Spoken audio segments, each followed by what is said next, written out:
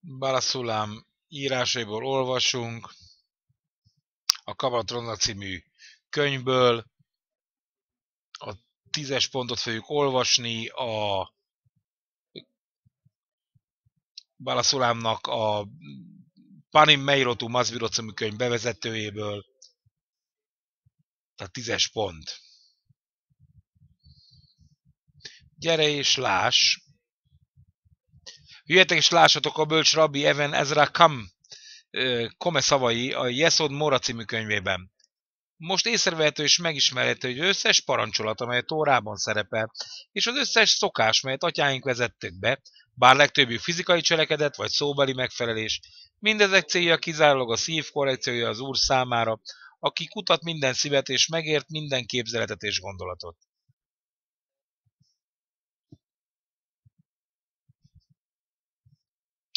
Írva van, neki függőleges vonal van a szívükben, ennek ellentét hogy a, rendelkezik, a szív rendelkezik a bűnös gondolatokkal.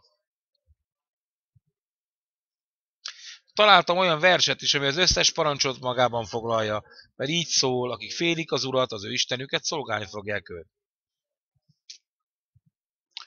A félelem szó tartalmazza az összes szóbeli negatív parancsolatot, mind a szívben, mind a cselekedetekben. Ez az a szint, amelyről valaki fölemelkedik az Istenél való munkához, hogy az összes pozitív parancsolatot, micvot tartalmazza. Ez hozzászoktatja az ember szívét, és irányítja az embert, ameddig az Úrhoz nem tapad, úgy, hogy az ember meg lett teremtve. Nem azért lett megteremtve, hogy vagyonokat szerezzen, vagy épületeket építsen.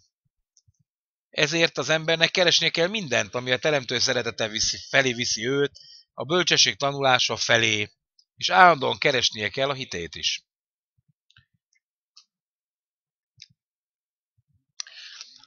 A teremtő fel fogja nyitni a szívének a szemeit, és megújítja a különböző szellemiség szerint a szívén belül. És akkor az ember szeretve lesz teremtő által az életében. Ismert, hogy a tóra csak az ember szívének lett számva. A szavak olyanok, mint az üres alakzatok, holttestek, és az ízek, támim, olyanok, mint a lelkek. Ha valaki nem érti meg az ízeket, az erőfeszítés teljes egészében értelmetlené válik, a munka pedig elillam. Ez, ez olyan, mint ha valaki minden erőfeszítést megtenne a betűk és a szavak megszámlálására egy gyógyszerkönyvben. Ebből a munkából nem fog semmilyen gyógyítás megjelenni. Egy tevéhez is hasonlítható ez, mely sejmet szállít. A tevének semmilyen haszna nem származik a sejemből, mint ahogy a sejemnek sincs haszna a teve munkájában. Tehát csak ezt a tanulságot vonhatjuk le a szavakból. Minden áron tartani kell a célt, melynek a nevében az ember meg lett teremtve. Azt állíthatjuk, hogy ez a lényeg az összetapadásnak a teremtővel.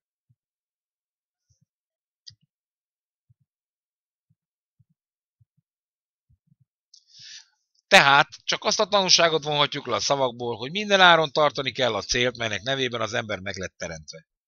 Azt állíthatjuk, hogy ez a lényege az összetapadásnak a teremtővel.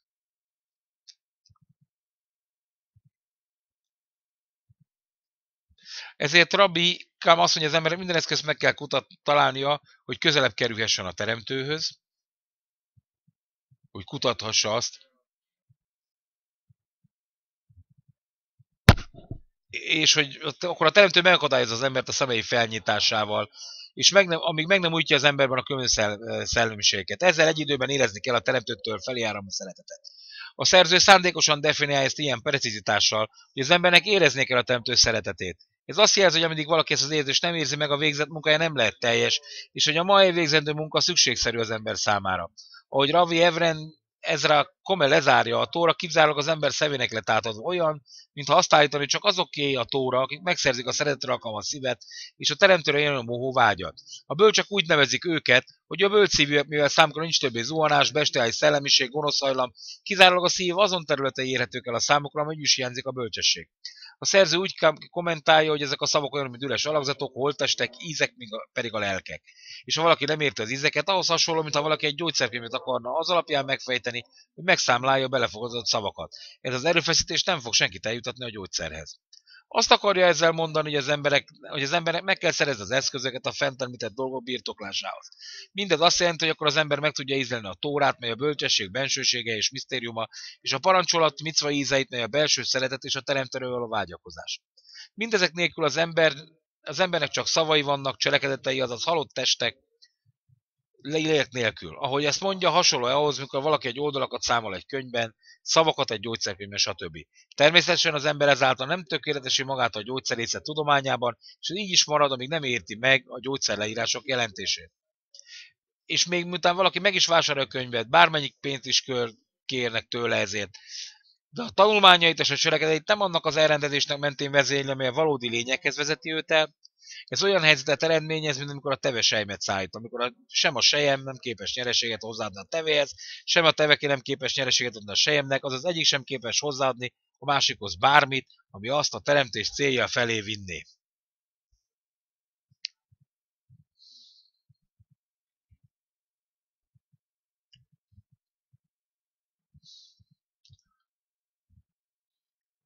Ez azt jelenti, mondja Rav, hogy nekünk nagyon óvatosnak kell lennünk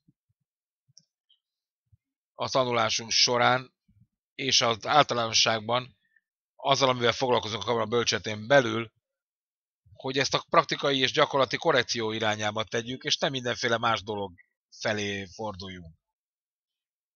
Amiben azt látjuk, hogy semmi nem változik.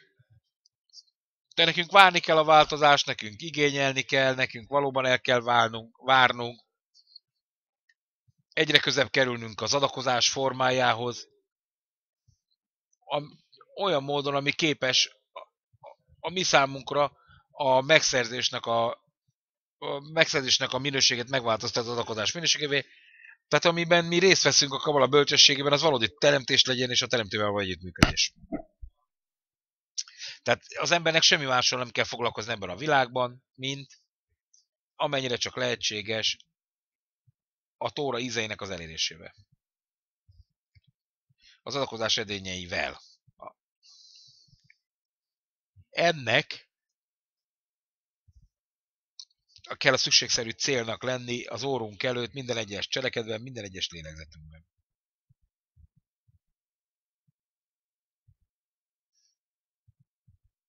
Ez az, ami írva van, hogy akiknek a, akiknek a szíve az erre nyitva van, és ez a, ez a Tóra kommentárokból is világosan érezhető, és más helyeken is le van írva, nem csak a Tóra kommentárokban, hogy a kabalisták azok folyamatosan ezt fejezték ki, hogy a mi foglalkozosságunk a kabala bölcsességével, az általánosságban is, és, és, át, és részleteiben is arra kell, hogy irányuljon, hogy kizárólag arra kell, hogy irányuljon, hogy az adakozás minőségét elérjük, és ezáltal megértsük, hogy ez az a hely, ahol a, ahol a teremtő megnyilvánul a mi számunkra. Scott Angliából kérdezi. Mit kell tennünk annak érdekében, hogy, hogy érezzük a tórát? Mit kell tennünk? Mindent, amire képes vagy. Hát neked kell ellenőrizned, hogy mire vagy képes. Te vagy ezért felelős. Tehát én terjesztem a tórát, ami az én, az én boltom nyitva van, vegyétek el belőle, amit tudtok. Nyilvánvalóan a cselekedet rám is irányul valamennyire, mondja természetesen.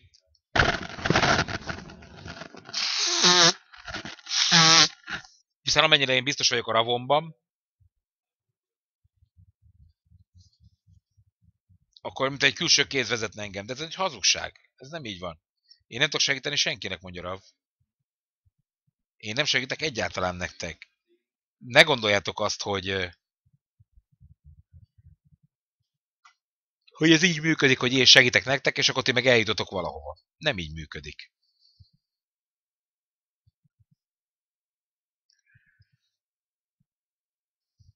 Nekem ebben nincs munkám. Az én munkám az az, hogy a korrekció módszerét tanítsam, az alkalmazás az a tanítók, tan, a diákoké, a tiétek.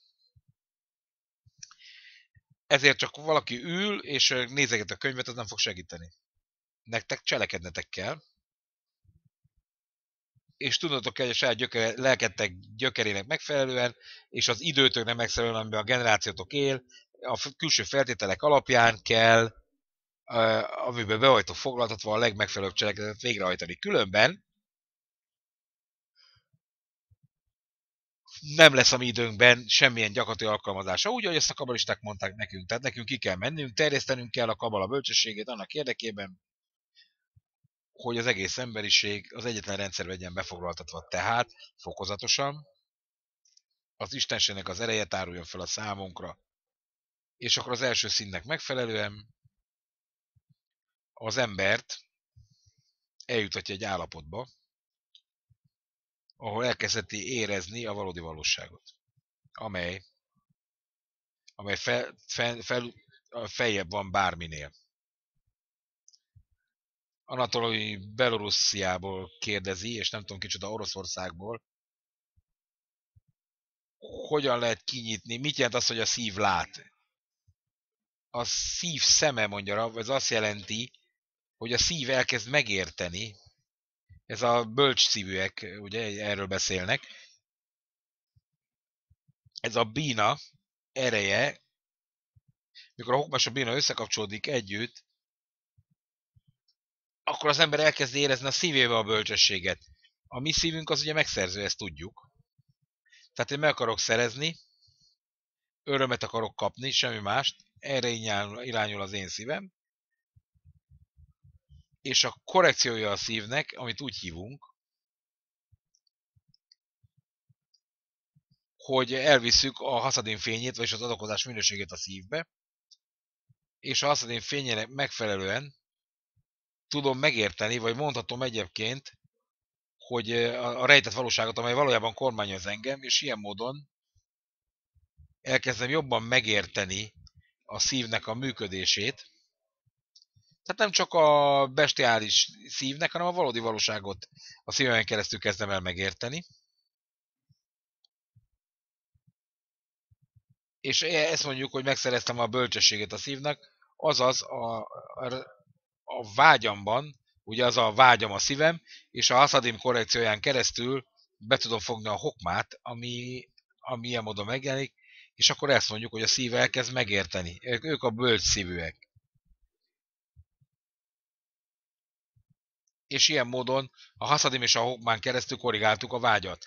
Azaz a haszadim mon keresztül eljutok a hokmának a befogásához, azaz a megszerzés az adakozás érdekében.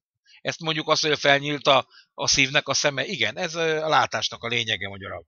Ez, hogy mi igazából látunk. Ez amiről mondva van. Oké, okay, azt elkérdezni Netanyából.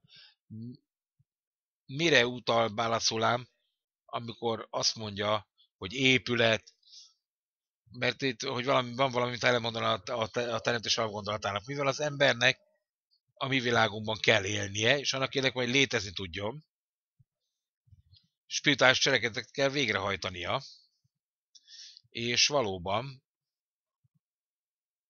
ahelyett, hogy mindenféle célokat talál magában a világban. De ez a természetének teljesen ellentmond.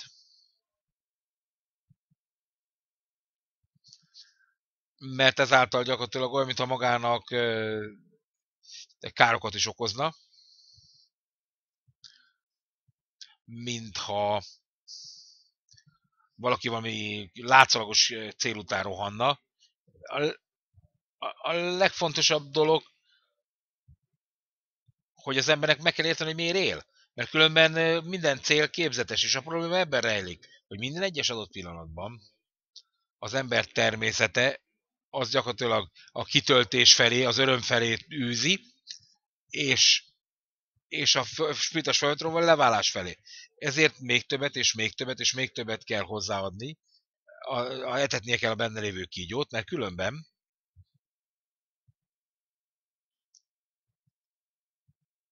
mert különben a kígyó engem esz meg.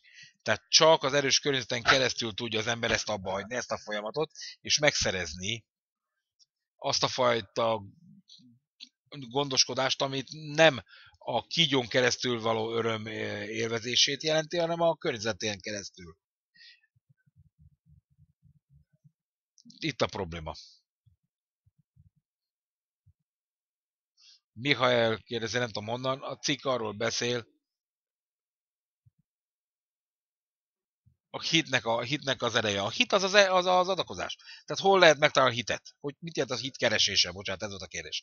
Tehát a, a, az, a, a hit az az adakozás. Ez azt jelenti, hogy hogyan jutok el egy olyan állapotba, amikor a környezet, a reformáló fény, amely gyakorlatilag áthat engem, ez a hordozója mindennek, a RAV, a tanulás, de mindezek a dolgok pontosan azért vannak, hogy a reformáló fényt magunkra vonjuk. Miért csinál a reformáló fény?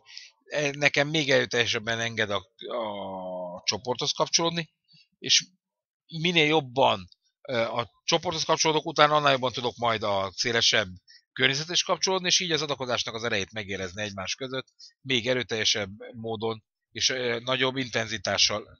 Ez az, ez az a trend, ez az a szándék, amit nekem meg kell ostanom Jakokkal.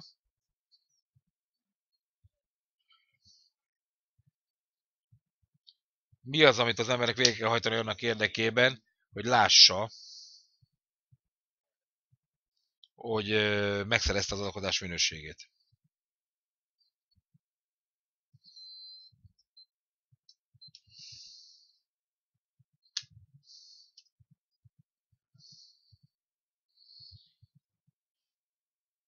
Az a teszt, az a, az, az ellenőrzés,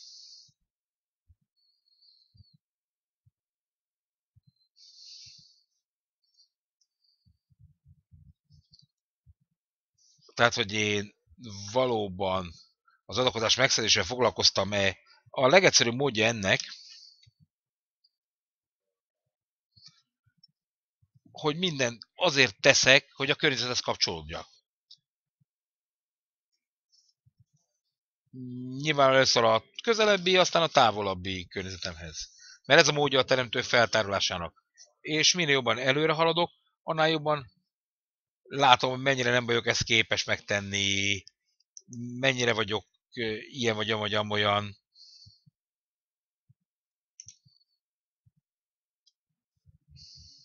Ezek eszközök, a barátok szeretete egy eszköz, azért, hogy elérjem a teremtő szeretetét. Nincs több eszköz. Ez ebben fejeződik ki. Ez, a mások felé való adakozásban fejeződik ki, és a teremtő irányába fejeződik ki.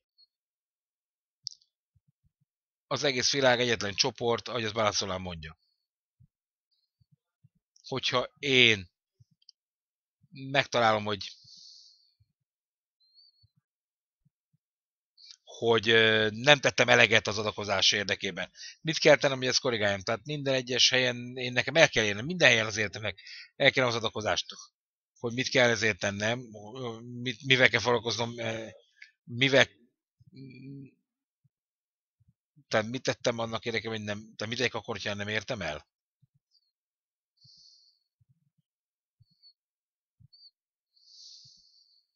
Hát milyen előnyöm van ebben? A családom, a test, és minden, ami körülöttem van, azok egy szükségszerű mert a célelése pont azt jelenti, hogy minden egyes rész, ami én vagyok, az egész életemet, ez a cél hogy áthajtsa, áthassa az adakozásnak a minősége a teremtő irányába és a teremtő feltárása. Tehát ez mind itt van, hogyha én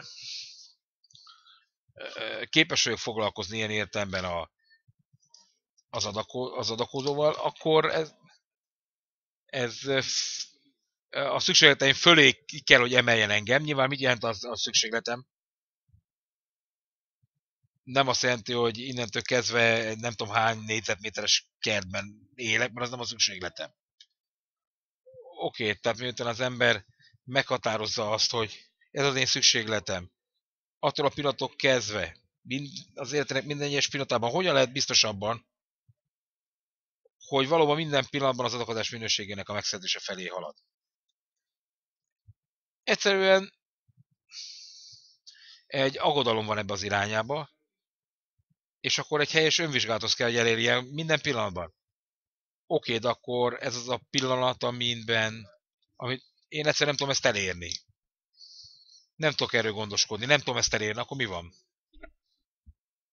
Na de akkor legalább az aggodalom benned vagy, miért nem tudod elérni? Hát itt kezdődik az egész.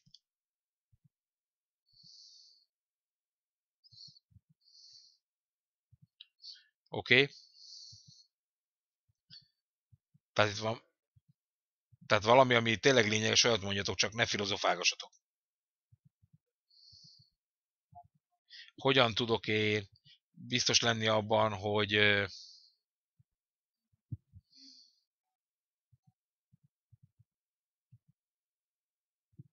Tehát nyilván az emberek épületeket akarnak építeni, és nem a lelkük szemét akarják fölnyitni. Oké. Okay.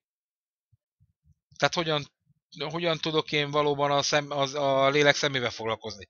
Hát együtt vagy velük. Együtt vagy velük. Ők valóban...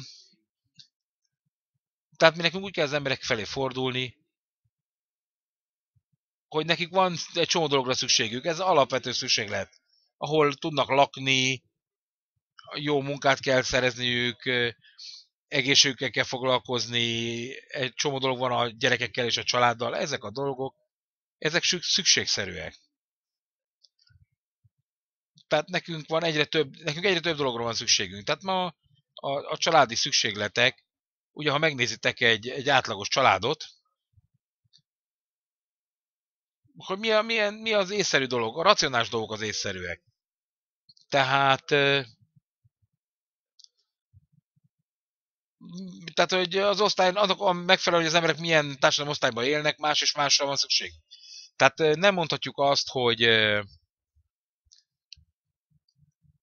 hogy nekik elegendő a, a fele az egyiknek, mint a másiknak. Tehát van egy hétköznapi ember, hétköznapi munkája van, hétköznapi fizetése, akkor megvannak neki a szükségletei is. Különben nem fejlődne sem erre. Tehát nyilvánvalóan nem, kell, nem ért úgy, mint egy állat, hogy csak ha megeszem a kajámat, elbújok a bokorba, repülök a tenger felett. Tehát a világ ma ezt igényli az emberektől, hogy, hogy az emberek állandóan a szükségleteikkel foglalkozzanak, mindenkinek a legjobb telefonja legyen, a legnagyobb internete legyen, stb. Tehát a legjobb autója. Tehát, ami, tehát amiben megközelítheted őket, az az, hogy hogy oké, okay, töltsétek ki a szükségleteiteket, nyilvánvalóan nem úgy, mint száz évvel ezelőtt, akkor más jelentett az, a, a szükséglet, hogy mindenkinek elég volt egy ágy, meg a kaja nap, az napra, és akkor mindenki el volt ezzel. Ma ez másképp van magyarab. Más generációban élünk, más problémák vannak, és a mi gyermekeink még rosszabbak, mert ők aztán végképp mindent akarnak. Oké, de akkor ez az, ami keresztül viszi őket a folyamaton, hogy nem, ez viszi őket, ez fogja a folyamatot, a korrekciónak az útját lerövidíteni. Hogyha nem csak azzal foglalkoznak, ami a szükségleteik, hanem ugye a lelkükkel is, meg a szívük szemével. Tehát az, hogy ők, az, hogy ők láthassák és megértessék, ők, ugye ők, ők elmennek egy mindenféle helyekre, az emberek most el tudnak jutni, mindenki repül. Az egész ez egy hülyeség, mert egy csomó dologról beszélek, ami hülyeség.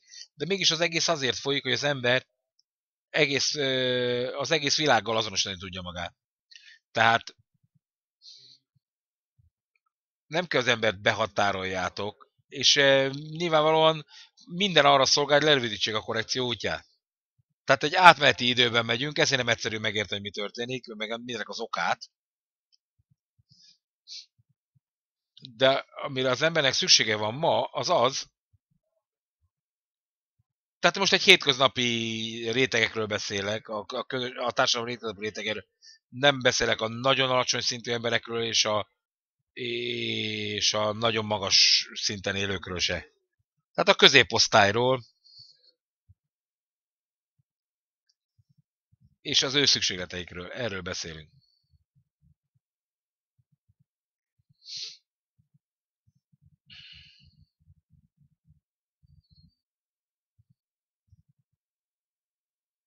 Mi arról beszélünk, hogy hogy, hogy megcéloz az embereket, segítsünk nekik megszerezni a szükségleteiket, ugye mert az embereknek legyen egy, egy lakásuk.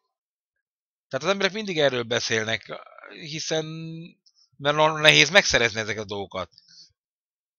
Tehát mi egy tehát ha arról beszélünk, hogy milyen területeken kell fejlesztenünk a, a terjesztésünket, az pontosan az, hogy tudunk az embereknek ezekben az alapvető dolgokban segíteni. Rav. Mi egy nagyon egyszerű dologról megfeledkezünk. Hogy minden forradalom, amit az emberiség csinált, mit is igényeltek a forradalmakkal? Egyenlőséget. Egyenlőséget. Többé-kevésbé ez volt a forradalmak célja. É, nem a legalacsonyabb szinten, ahol mindenki a sivatagban éljen, természetesen nem ez nem az egyenlőség, hanem egy normális módon. Azaz, az, az, amit az emberek igazából vágynak, és nyilván nem arról van szó, hogy itt összegyűjtenek emberektől óriási mennyiségű adókat, és akkor nagyon kevés embernek odaadják, aki a parlamentben ül, nem erre vágynak az emberek. Tehát nyilvánvalóan az életnek az a fajta módja, hogy a, mert, a, mert a kormányok így működnek, az összegyűjtik az emberektől a, a pénzt, és akkor elosztják. Tehát ti választhatok minket, és akkor viseljétek el, hogy mi úgy osztjuk el a pénzt. És láthatunk, amit akarunk.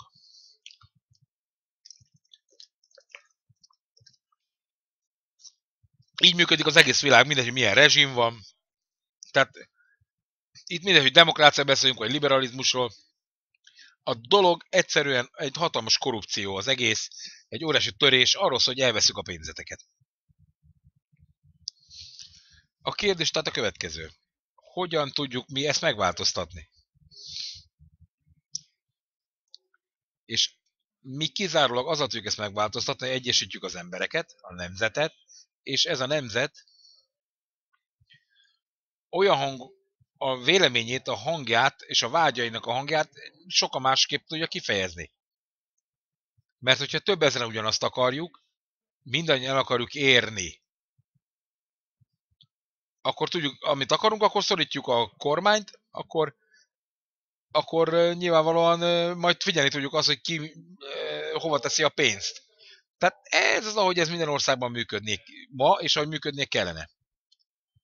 És ezért semmi más nem kell tennünk az emberekkel, mint hogy oktatjuk őket. Minden dolog, a korrupciós egyéb dolog, az csak azzal lesz majd kiiktatható, hogy ezt most nem értettem. Tehát még Marx is írt erről, tehát tehát végső soron Nekünk csak az oktatás old meg mindent, ha oktatjuk az embereket, elmondjuk, hogy mit kell tenniük, és hogy milyen fajta új kormányzatnak kell felemelkednie, amely, amely eltérít eltér majd attól az úttól, amin ma mennek a kormányok, és és akkor uh, nyilvánvalóan fölé kell emelkedni ennek az óriási korrupt kormányzati rendszernek, ami van.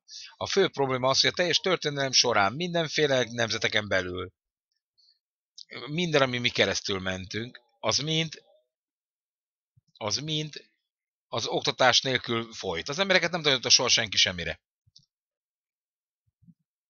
Tehát az nem oktatás, hogy az emberek írnak könyveket, hanem többen elolvassák az, az emberi oktatásnak az emberi kapcsolatokra kell vonatkoznia. Ezért, ezért mi azt látjuk, hogy az egész világ az, az ugyanazzal a problémával küzdik. És a megoldás az kizárólag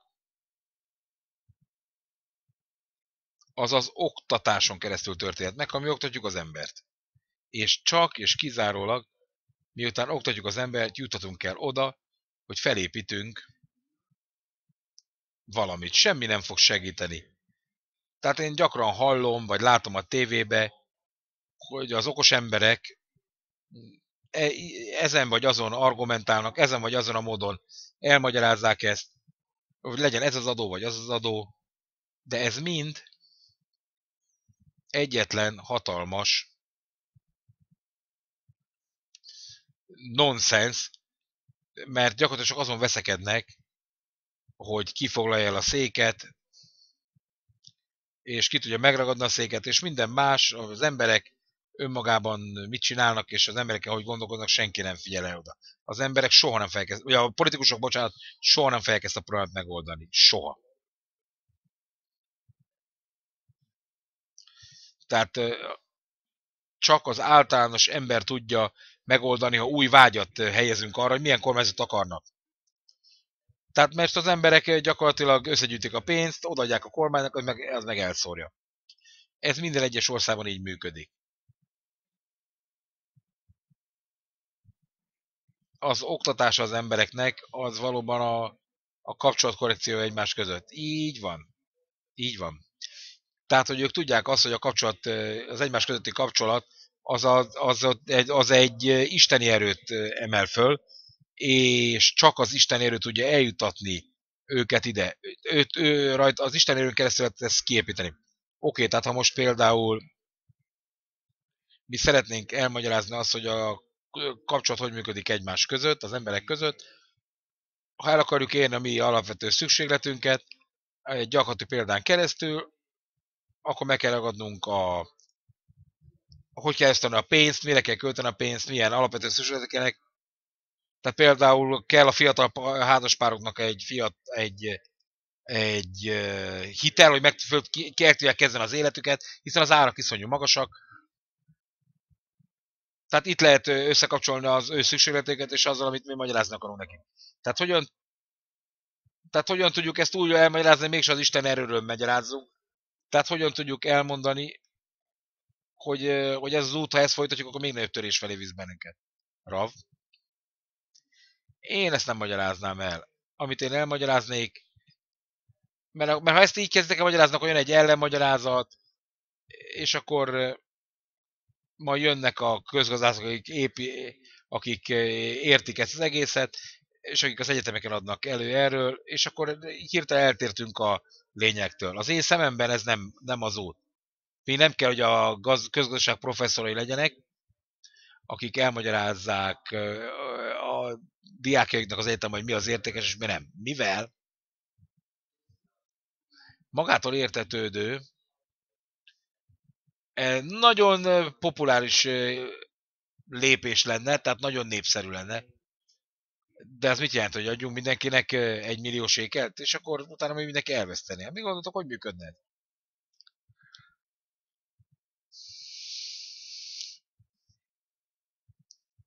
Hát nyilvánvalóan a, most már érte, hogy emberek azért maguk gyűjtenek pénzt, mert az állam ugye csak szétszólni tudja a pénzt. Tehát ha elmegyünk, megnézünk egy, egy kormányzati, kormányzati, megnézzük egy kormányzati hivatalt, nyilván az összegyűjti a különböző adókat, és nem történik vele semmi, csak szétszórja a pénzt. Mert az egyik zsebből a másikba megy át a pénz, ennyi az adónak a szerepe. Ebből semmilyen kimenet nincs. Ez a nyilván az emberek mögé hullik ez a pénz, és nem az emberek fejére, nem visszakerül a társadalomhoz. Tehát, tehát vannak nagyon népszerű lépések, amikor az ember azt mondja, hogy oké, okay, nyilván valaki másfajta módon akar pénzt összegyűjteni, nyilván az, a politikusok általában képtelenek lesznek bármit elérni ebbe az ügybe. Tehát ők csak egy dologra figyelnek oda, hogy hogy hogyan lehet az embereket rábírni arra, hogy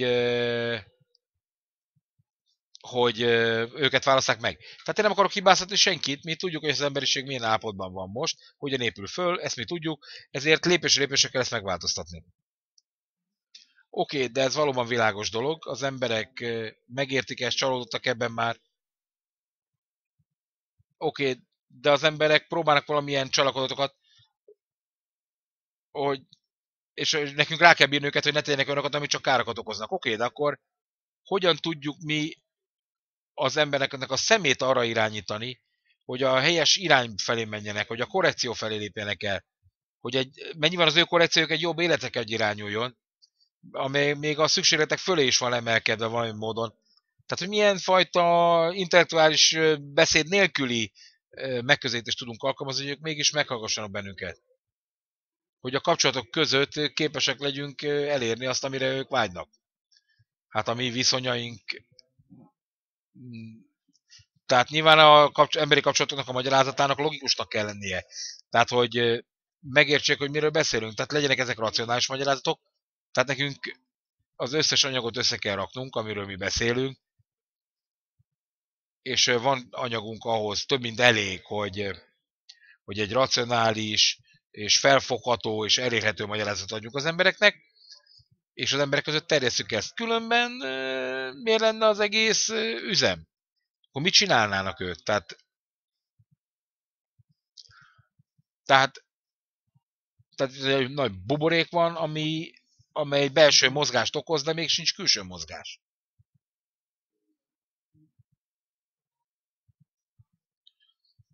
Mindig minden ugyanazon a helyen kezdődik, és elindul, nem jutunk el 5-ről 6-ra.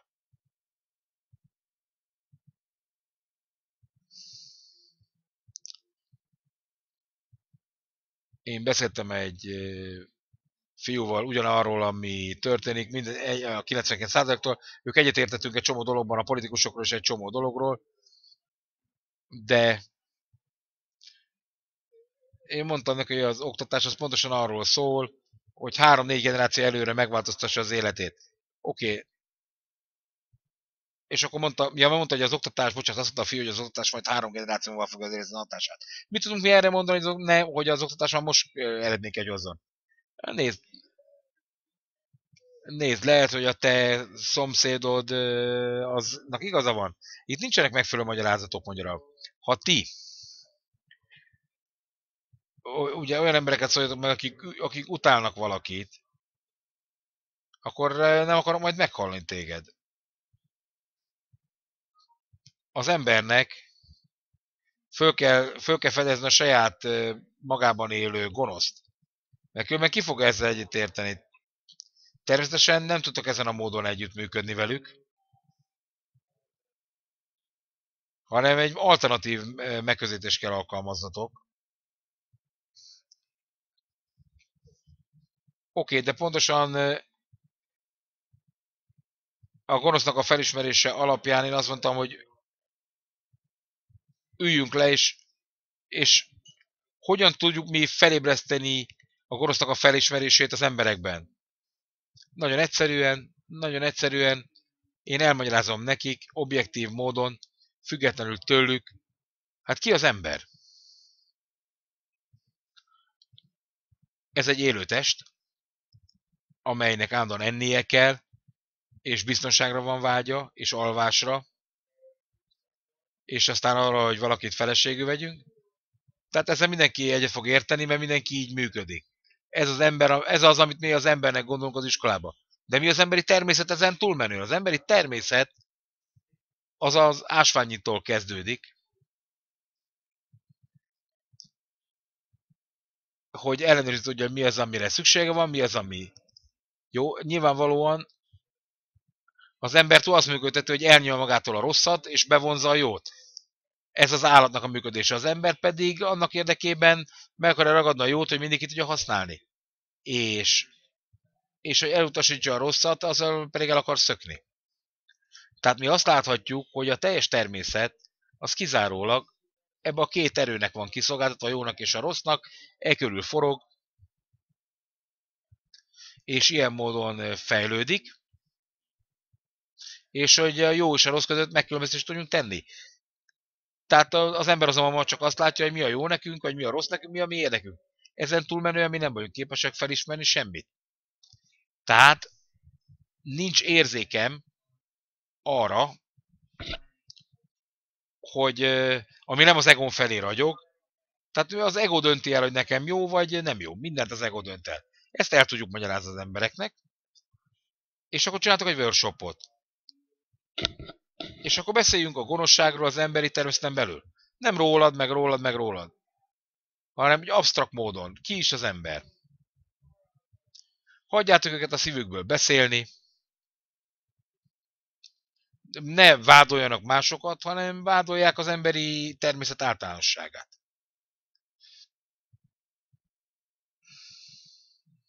Pillanat. Azért, hogy közelebb vigyük őket a gonosz felismeréséhez, és ennek eredményeképpen a eljutunk oda, hogy képesek leszünk felismerni az emberi természetben rejtőző általános gonoszt, és ilyen módon elkezdték látni, hogy ez önmagukban is megvan.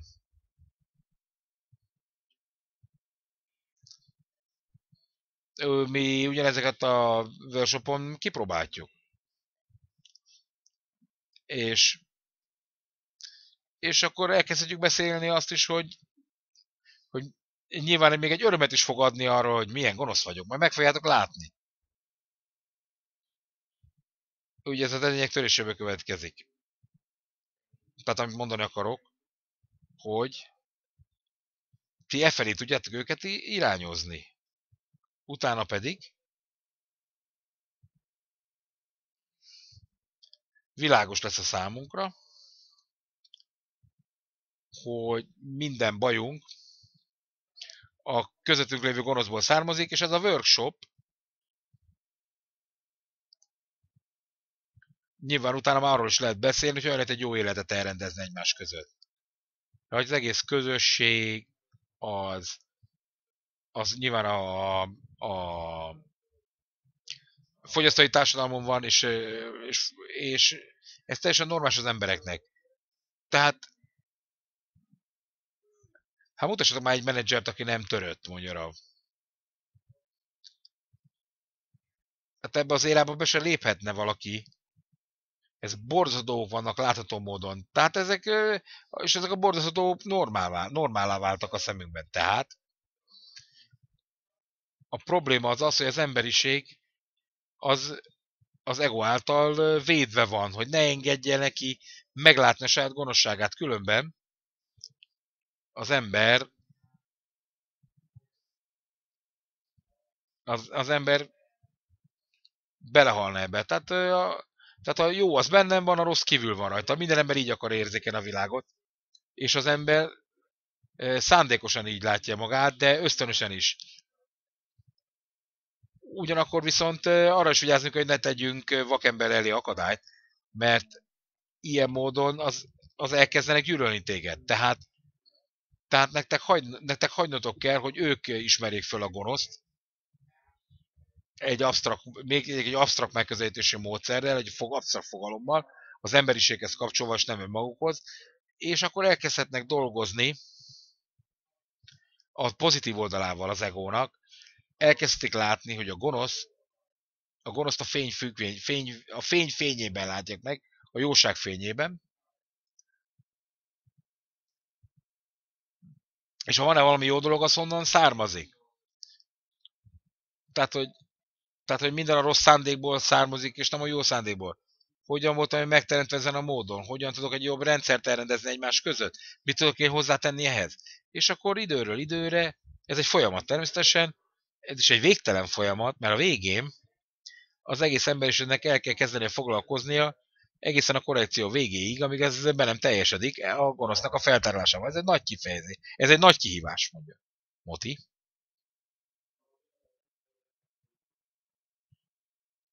Ön azt mondta, hogy az ember a jó és rossz között fedez föl dolgokat. Tehát, tehát mindenkinek van, akinek minden zöld, hogyan, meg minden fantasztikus, Hát hogyan tudjuk azt elmondani, van, hogy megvannak örülve, hogy minden zöld legyen. Hát hogy tudjuk elmondani az embereknek, hogy a tiszta zöld minden az még nem magában jó? Hát ö... nyilvánvalóan elmondjuk nekik, hogy ez helyes, amit ők mondanak, de csak a kicsit töredéken keresztül értékelik, ami az ő világban belefér. Oké, okay. na de hogyan tudjuk mi a kapcsolatra irányítani az őket ezekről a zöld erőforrásokról? Hát el kell mondani, hogy én veletek vagyok, értem, hogy mit mondtok, én azt akarom, hogy minden le legyen fetve zölddel, bokor legyen mindenütt, fa legyen mindenütt. Egy dzsungelben éljünk, egy igazi dzsungelben, és így tovább. És akkor a világ szó szerint visszatér ahhoz, ahogy volt, és akkor majmok ugrálnak a fákon, és akkor a a hegytetőre halljuk a motinak a hangját, ezt ezen a módon is elmagyaráztunk majd. De ez az én álmom. Na de hogyan fogunk eljutni az álomhoz? Csak akkor érjük el, ha mi akik individualisták vagyunk, mégis összekapcsolódunk egyik a másikkal, és ezt meg kell tanítani egymásnak, hogy a kapcsolat mi, meg az egység mi, és ennek eredményeképpen mi egy zöldebb világ felé tudunk haladni. Fantasztikus. Tehát, tehát ezt kell elmagyaráznatok nekik, mert az ember korrekció nélkül nem érhető el az, hogy zöld legyen a bolygó, mint egy béka. Tehát lehet, hogy soha nem fogjuk ezt elérni, de ha mi korrigáljuk az embert és és kicsit lejjebb megyünk a szükség, szükségleteink irányában, tehát lejjebb visszük azt, amit alapvetően szükségnek nevezünk, akkor nem fogjuk kihasználni a természetet, és ezzel egy új ideológiát adtok a zöld életről.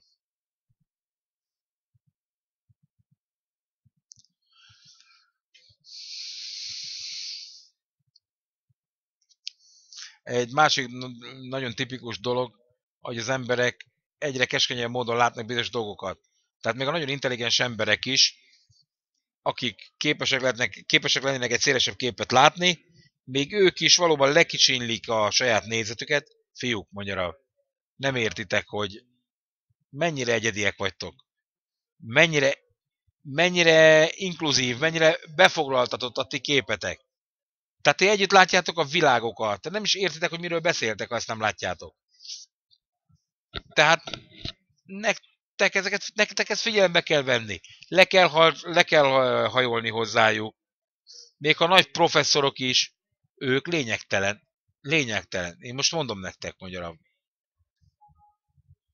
Lehet, hogy van valamilyen víziójuk, de én nem hiszem, mondja hogy,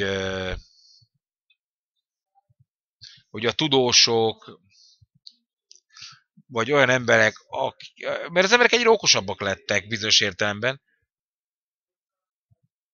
Egy, egy, az emberek, a, tudósok például egyre több mindent értenek meg. Tehát, hogyha megnézzünk egy ilyen kutatási cikket, az egyre bonyolultabb. Na folytasd a kérdés, magyarab?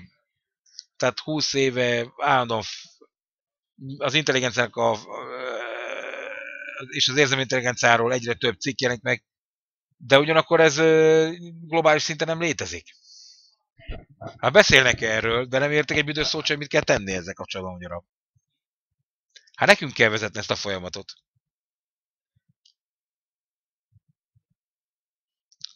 Tehát, tehát természetes, természetes okoknál fogva nem tudják helyesen megközelíteni ezt. Na de hogy fog ez megtörténni akkor, hogy ez megváltozik? Rav? Hát, az, hát, hogyha nem értik meg az emberek, hogy van egy felső rendszer, ami befolyásolja őket, akkor azért nehéz lesz ezt elmagyarázni. Hogy eljussunk az emberiségnek egy közös felismeréséhez, hogy a törést is felismerjék. Mit tudunk akkor tenni? Még egyszer magyarul. Tehát nekünk fokozatosan, lassan, lassan az embereket ebbe az irányba kell vezetni. Még a még ők eljönnek tanulni azokat is. Ezen a módon kell elmondani nekik, hogy megértsék ezt, és az elméjükbe tudják tartani, és azt tudjuk nekik mondani, hogy nincs más választásotok. Tehát nyilván azt kell tanulnunk, ami... Mert az emberek azt mondják, hogy arról akarok foglalkozni, ami nekem jót hoz. A többi dolog pedig majd megtörténik nélkülem. És nektek azt kell magyarázni, hogy nem így van. Oké, okay. tehát én...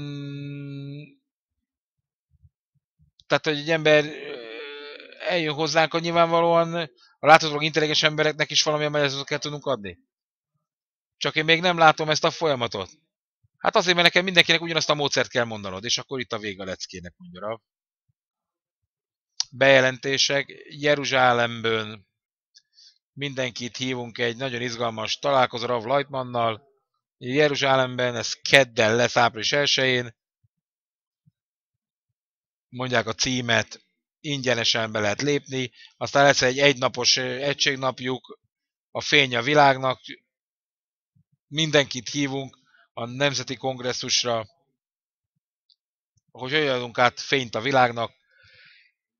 Ez március 28-án fog történni Petatikvából, Hajfába és Bersavába. Mondták a részleteket, hogy hogy lehet jelentkezni. A belső kulcs, ez egy Tel Avivi program, aki Ezek mind izraeli programok, amiket most olvastunk. Ez ma lesz egyébként, ha minden igaz, Tel Avivban. És akkor mindenkinek csodálatos napot kívánunk.